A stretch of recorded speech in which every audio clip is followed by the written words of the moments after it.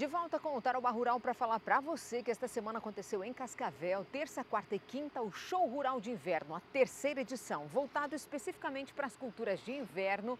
Muitas novidades, tecnologia, o tradicional show rural, realizado no começo do ano, exigia uma versão especial. O show rural tradicional da Copavel, que já está na 34ª edição, que aconteceu em fevereiro de 2022, ele pega as culturas de verão, máquina, equipamentos, pecuária e outros é, instrumentos à disposição do produtor para as lavouras de verão e faltava então um complemento para a lavoura de inverno. E esse show rural de inverno, essa terceira edição, visa exatamente isso. Conhecimento de novos produtos, conhecimento de, da cultura em si do trigo, que está cada vez mais disseminando na nossa região lançamentos, novas cultivares e está por dentro dos, das novidades do mercado, né? Eu acredito que seja importante por causa disso. Atualmente, os estados do sul do país são responsáveis por 90% da produção de todo o Brasil. Isso significa mais de 6 mil toneladas por hectare. E é um momento muito importante do Brasil. Por quê? Podemos crescer no trigo, existem tecnologias, passar de 2.600, 1.800 quilos por hectare para mais de 6 mil quilos por hectare. Tem experimentos aqui, tem condições de levar isso para a propriedade. Segundo fator, o fator internacional. A geopolítica internacional está deixando uma complicação para a cultura do trigo.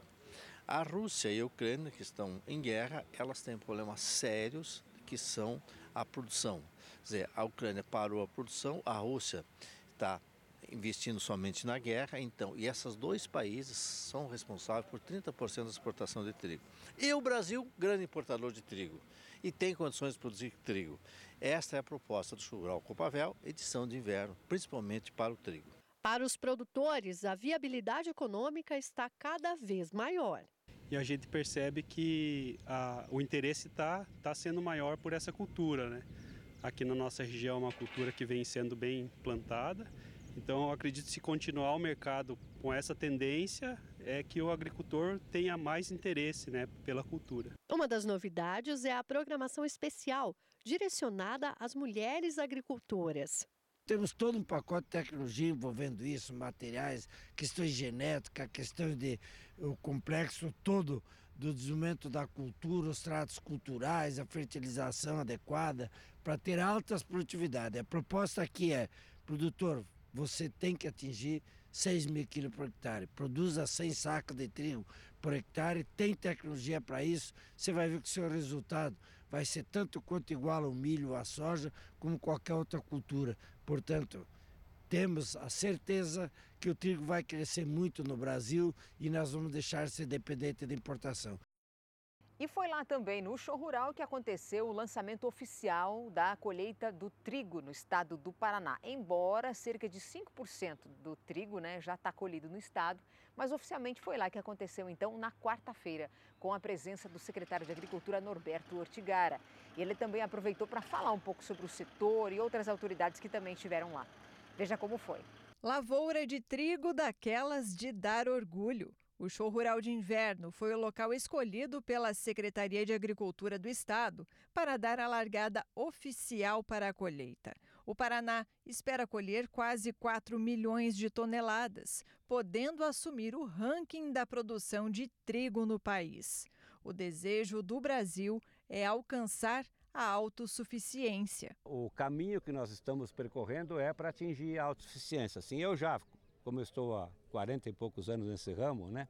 A gente já viu várias pegadas dessa, mas me parece que do ponto de vista da sustentação tecnológica, nós temos assim uma grande chance dos próximos 3, 5 anos, aí quem sabe nós atingirmos no mínimo 12 milhões, 12 milhões e meio de né, toneladas, que é o que o Brasil consome por ano. Então, trigos, aveia comestível, aveia branca, centeio, cevada, triticale, são todas culturas de alto interesse para o Brasil, para a nossa economia, para a nossa forma de consumir as coisas.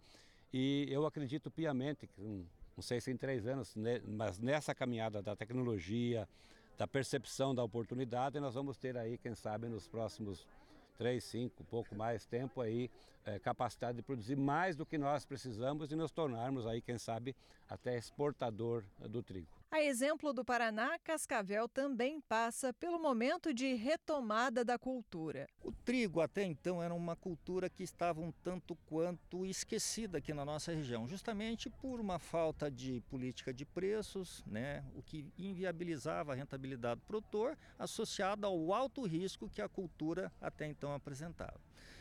Um evento como esse, ele é muito positivo para todo o nosso município e também para os produtores, porque vai apresentar novas tecnologias, novos materiais que são mais resistentes às intempéries do tempo, materiais que têm maior produtividade e também uma política de preços da própria cooperativa garantindo né, a, a aquele valor né, na hora que ele, além de fornecer o insumo, ele garante o valor na aquisição do produto para a safra de 2003. O show rural de inverno tem os olhos voltados para o trigo e, na busca pelo conhecimento, neste ano, as mulheres têm participação ativa. Na colhedeira, no transporte de adubo, semente que é necessário, estamos sempre juntos na roça. Olho vivo. Olho no olho, no olho. olho no olho, chegamos junto lá com eles, né? Sempre junto com o marido na lavoura, sempre, acompanhando ele e nos negócios também, para ver como é que vai as bolsas de valores, como é que vai indo o preço, e vão acompanhando e acompanhando a cooperativa também. E nós fazemos parte da, da, da agricultura, né? E isso a, a, gente aprendeu muito, com, aprende muito com essas palestras que eu gosto, amo de vir para cá assistir e leva para casa muita coisa boa, novidade da roça, né? Que a gente criou, nasceu na roça. Então, desde o leite, lavoura, tudo é, é meu, meu viver é a roça. Quem ainda tem o futuro pela frente já acompanha as novidades do presente, um universo que tem tudo a ver com tecnologia. Na feira, o espaço Impulse pulsa. Jovens ousados, cheios de grandes ideias, empreendedores conectados às oportunidades. Estamos lançando aqui no Espaço Impulso, que é uma parceria entre o PTI, a Fundetec e a Copavel. Esse é um primeiro é, espaço e uma primeira parceria de outras que virão, onde nós estamos lançando a, o edital de licitação hoje para que nos próximos dias as empresas se habilitem e possam concorrer e nós no Terminal Oeste de Cascavel possamos ter esse espaço que nós chamamos de um hub de inovação, né?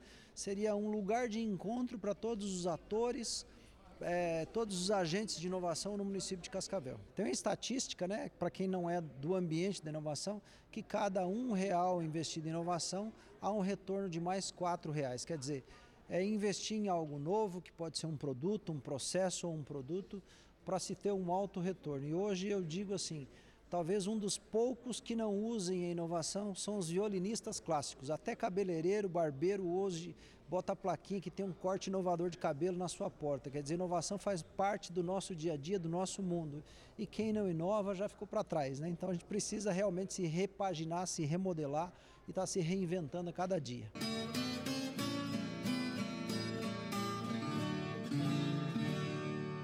E na semana que vem a gente vai falar mais aqui no programa sobre o Espaço Impulso, que você viu aí um pedacinho, né, nessa reportagem, mas semana que vem a gente produziu, já está prontinho aí, é que hoje está corrida aqui, mas semana que vem você vai ver todinho sobre o Espaço Impulso, que também tem muita tecnologia que vai ser aplicada lá na propriedade para as famílias rurais. E falando em família rural, eu falo agora do Sindicato Rural Patronal de Cascavel, o braço forte da família do campo, que também teve participação no show rural de inverno através das mulheres. Teve um evento lá, gente, sensacional. Claro que eu não podia ficar de fora. Você está vendo aí a mulherada? Olha as imagens. Mulherada animada e eu tive lá apresentando, né? Tive esse privilégio de estar à frente dessas mulheres também. E foram dois ambientes, gente, 750 mulheres. Teve palestra com psicólogas e uma mesa redonda com especialistas em gestão de propriedades. E um dos participantes foi o Luiz Tiradentes. Ele é instrutor do Senar junto com o Sindicato Rural. E ele falou sobre gestão das propriedades. Muito bacana, esse tema é muito relevante e atual. Muito bom ver também e viver essa energia junto com as mulheres do agro, né? Essa foi a primeira edição do encontro É Tempo de Mulher no Agro e no Mundo. Como eu já disse, eu tive o privilégio de estar lá, conversar com ela, sentir essa energia. Tiramos muitas fotografias que ainda hoje aqui no programa você vai ver, mais para o final, tá bom? A rodada de fotografias que a gente fez, tá? Daqui a pouquinho você vê mais então.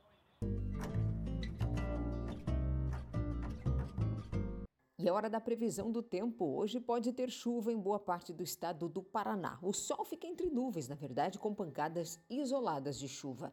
Temperatura mínima hoje em Cascavel de 11 graus, máxima de 20. A partir de amanhã, durante todo o restante da semana, o sol é que deve brilhar forte. Temperatura amanhã cai um pouco, a mínima é de 7 graus para Cascavel, máxima de 18. Depois as temperaturas terão elevação. Em Guaíra, hoje também pode ter pancadas de chuva, com temperatura mínima de 14 e máxima de 24 graus. Na região de Foz do Iguaçu, hoje mínima de 13 e máxima de 23 graus. Pode também ter chuva por lá. A partir de segunda, as temperaturas vão se elevando e o sol brilha forte. Na região de Guarapuava, hoje mínima de 13 e máxima de 25 graus. O sol hoje deve aparecer, mas também tem possibilidade de pancadas de chuva isoladas.